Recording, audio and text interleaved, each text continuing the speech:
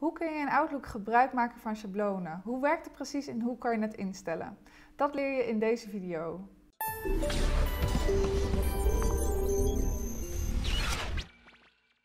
Het handige van schablonen in Outlook is dat je e-mails die je vaker stuurt, inclusief de bijlagen, helemaal klaar kunt zetten en met een paar drukken op de, op de knop kunt oproepen en ze vervolgens kunt uitsturen.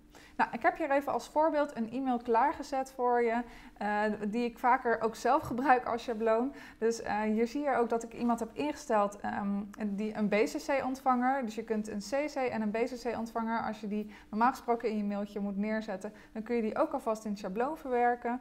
Nou, het onderwerp staat al ingesteld, uh, de bijlage is toegevoegd en vervolgens staat natuurlijk ook de inhoud van de tekst erbij.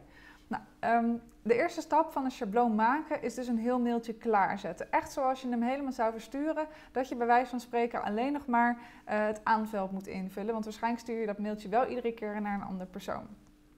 Nou, het uh, kan ook zijn dat je hem wel naar dezelfde persoon stuurt en dan kun je natuurlijk ook gewoon het schabloon gebruiken. Dus dan, uh, dan zet je diegene gewoon meteen in de aan en dan heb je die er ook bij staan. Um, Let wel even op, als jij bij iedere nieuwe e-mail een standaard handtekening hebt, bijvoorbeeld als ik nu een nieuw mailtje maak met Ctrl-N, dan zie je hier uh, een, uh, een, handtekening als standaard erin staan. De, die opent hij sowieso bij iedere nieuwe mail die je maakt, of dat nou een schabloon is of niet, die zet hij er dan in. Dus um, maak jij een schabloon aan, dan hoef je dus in principe niet nog een keer jouw handtekening erin te zetten. Dus die kun je dan gewoon verwijderen, want die voegt hij dan automatisch al toe. Dus, nou, het schabloon is nu helemaal klaar. Uh, dat betekent dat we de volgende stap kunnen gaan zetten. En stap 2 is dat we het schabloon gaan opslaan. Dus wat je doet is, je gaat naar bestand. Vervolgens doe je opslaan als. En wat je hier doet is, je, klikt op uh, nou dit gedeelte. Vervolgens kies je Outlook schabloon, want je wilt dit mailtje opslaan als een Outlook schabloon.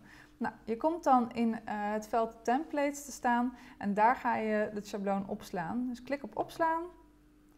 Nou, dat is nu klaar. We hebben nu een schabloon gecreëerd. De vraag is alleen nu, hoe kun je hem dan precies openen? Nou, dit mailtje kun je nu gewoon wegklikken, want die hebben we niet meer nodig, want we hebben het nou eenmaal opgeslagen als schabloon. Dus laten we eens even kijken waar je het schabloon nu kunt oproepen. Nou, het zit een beetje verborgen in Outlook. Ik vind het niet een heel handige plek waar ze dat hebben neergezet.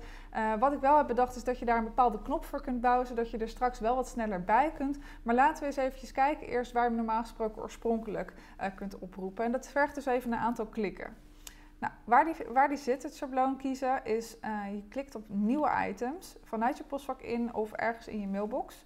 Vervolgens heb je hier meer items en dan kies je voor formulier kiezen. Nou, uh, dan moet je even met je muisje hier naar boven gaan en dan kies je voor gebruikersschablonen in bestandssystemen. Nou, en daar zie je uh, de, het schabloon wat je net hebt ingesteld.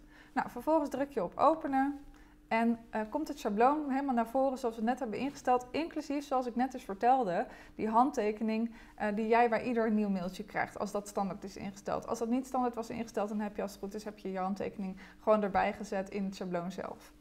Nou, um, het mailtje is dus gewoon helemaal klaar. Het enige wat je nog hoeft te doen is uh, iemand in, uh, in aanzetten en dan het mailtje versturen. Uh, dus ja, schablonen werken, is, werken wel echt gewoon super handig. Maar laten we deze weer even wegklikken en laten we dan eens even kijken hoe we een knop kunnen bouwen, zodat je veel makkelijker bij die schablonen kunt komen. Want dat scheelt je gewoon vier klikken, heb ik geteld. Oké.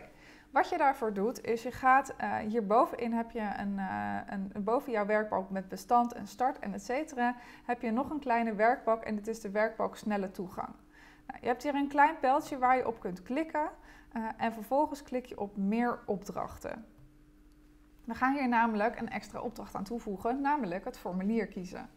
Oké, wat je hier doet bij populaire opdrachten is je kiest voor alle opdrachten en vervolgens, als je hier even in klikt ergens, dan druk je de F van formulier in, uh, in je toetsenbord. Uh, want dan komen we, het is namelijk echt een hele lange lijst en dan kom je iets sneller bij de knop die, uh, die je wil vinden. Nou, en vervolgens kies je, druk je hier op formulier kiezen en dan op toevoegen. Dus we hebben nu hebben we, de knop formulier kiezen hebben toegevoegd aan die, aan die werkbalk snelle toegang. Je drukt op oké en hier is nou een knopje extra bij verschenen. Als ik nu op deze knop druk, dan kom ik meteen in dat uh, veld terecht. Terwijl ik niet meer opnieuw items en dan meer items en dan formulier kiezen. Nou, het scheelt gewoon een aantal klikken. Uh, je bent nu meteen bij het formulier kiezen. En hoe je nu nog sneller naar schablonen, naar jouw schablonen kunt, is door 1, 2, 3, 4 keer op het pijltjestoets op je toetsenbord te drukken. Dat is het pijltje die naar beneden wijst. En dan kom je meteen bij jouw um, schablonen terecht. Heb je maar één schabloon, kun je meteen op enter drukken en dan opent hij dat schabloon. Heb je meerdere schablonen, dan moet je even naar schabloon kiezen en dan druk je dan op enter. Of natuurlijk gewoon op openen. En dan ben je bij je schabloon. Dus op deze manier kom je veel sneller bij je schablonen. Uh, en en uh, werkt het dus eigenlijk nog ietsje sneller en handiger dan dat Outlook het in eerste instantie zelf heeft ingesteld. Dus uh, je bent Outlook nu eigenlijk zelfs een beetje te slim af.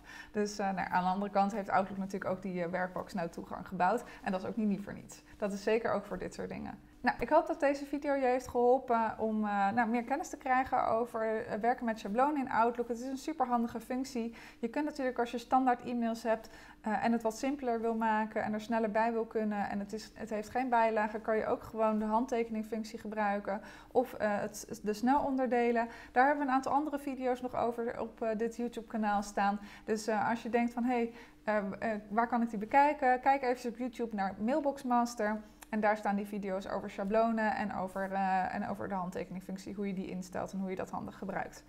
Nou, ik hoop dat deze video je heeft geholpen en ik zie je weer in een volgende video.